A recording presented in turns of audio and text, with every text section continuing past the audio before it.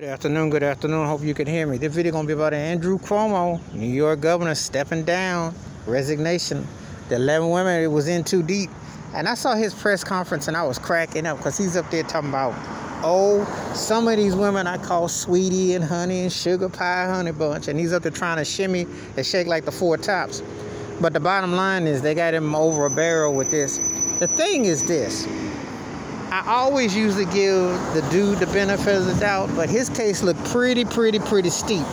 Like he had ran his mouth, like he had been saying some stuff, and it just did not look good. And he was, um, you know, he he had been like he'd been kind of one of those arrogant, pompous, you know, Italian dudes, almost like a stereotypical cliche, and. Um, you know, it's definitely going to do some damage to the Cuomo name. His his pops was big time, and he when he was governor and everything. And then you got Chris that's on CNN, and Chris ain't tried to touch that with a ten foot pole on CNN. I've been watching. Um, it's sad on all levels, you know. But the thing is, is that I still say that this is a trade off. He don't get charged for the the killings in the old folks home with COVID last year. I think this is a trade off. I doubt seriously that they go after him for that.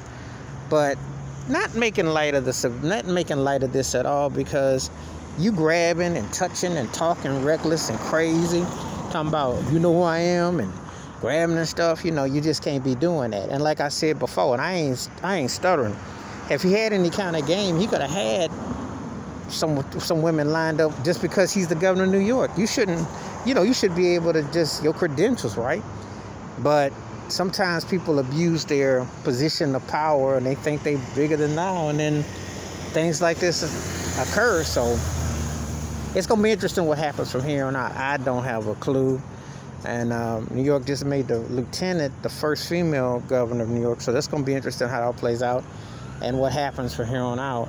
I don't think you've heard the last of Andrew Cuomo but it just shows you how they build you up to, to bring you down if they got something. Because last was on the cover Rolling Stone and they was hyping up for how he acted about COVID and how he got New York back.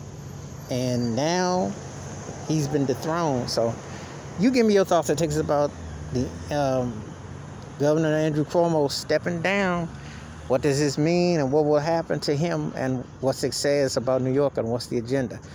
Uh, please hit the like, subscribe, and welcome thoughts and comments. I do respond. Thank you. Wash your hands. Keep your mind clear. Watch out for another. And um, only if we believe that no one was above the law because, you know, he still got the benefit of the doubt. But we'll see how it plays out. All right, I'm out.